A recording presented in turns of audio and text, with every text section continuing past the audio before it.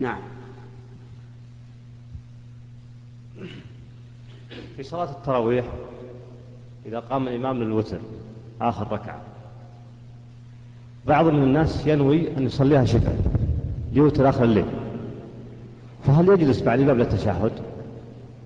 لا الأفضل أن أن يتابع الإمام وإذا سلم الإمام أتى بركعة ونوى الإفراد من أصل التشهد؟ يعني نوى الإفراد من البداية أن هذا شفع وليس وتر ما يخالف ينوي الشفع لكن يتابع الإمام لأنه لو سل لو سلم قبل أن يسلم الإمام لكان انصرف قبل أن أن ينصرف الإمام.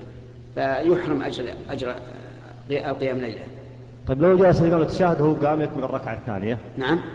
إذا جلس الإمام للتشهد إذا جلس الإمام للتشهد وهو قام يكمل الركعة نفسه. كيف يقام والناس تتشهد ويكمل الركعة عشان يصير ركعة. عشان إيش؟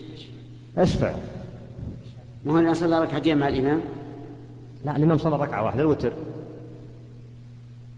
الإمام أوتر بواحدة. هي آخر ركعة. الإمام أوتر بواحدة. أي نعم. طيب إذا أوتر بواحدة يقوم يقوم بعده بعد ما يسلم الإمام ويأتي بركعة. يعني التشهد لازم يجلس التشهد معه. لازم يتشهد مع الإمام تبعا للإمام. إيه، جزاك الله خير. نعم.